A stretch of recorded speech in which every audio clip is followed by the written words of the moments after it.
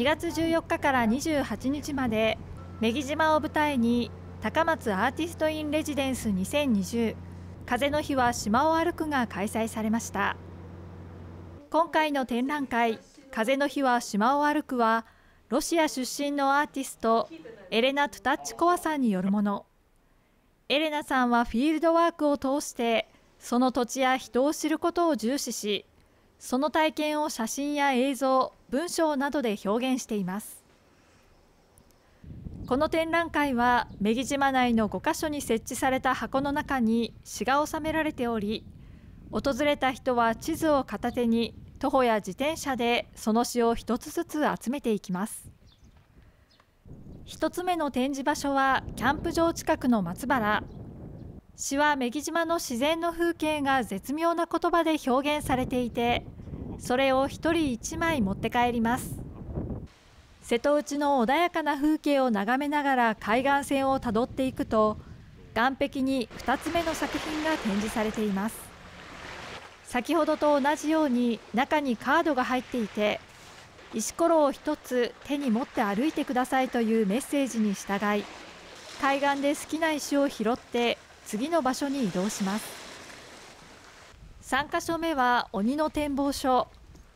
2つ目までとは違い本格的な登山道を慎重に進んでいくと素晴らしい眺望が見渡せる場所に3つ目の作品が。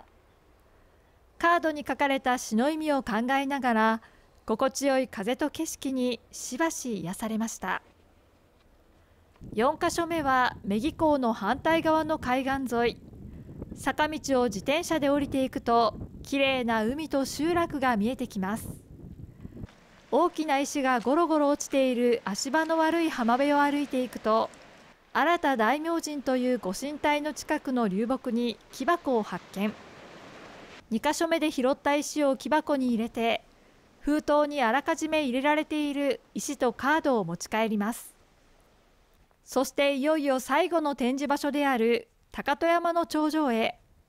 緩やかな勾配の山道を登っていくと標高およそ216メートルの頂上に木箱が置かれていて最後のカードを手に取ります。エレナさんは今回の作品を通して島とはどのような場所かということを見える景色や聞こえる音から感じてほしいとのこと。島を訪れた人は作品を巡る中で女木島の自然や人々の生活に思いを馳せているようでした。アーティスト・イン・レジデンス自体はアーティストが現地に来て滞在してアートを作るっていう、まあ、一連の流れがあるんですけれども、まあ、メギを選んでくれた今回のエレナ・ツタチコさんは、えっと、非常に素晴らしくてですね地元の方と、えー、溶け込んでそれを自分の作品に取り入れてでメギの魅力を自分のフィルターで新たに発見したと思っております。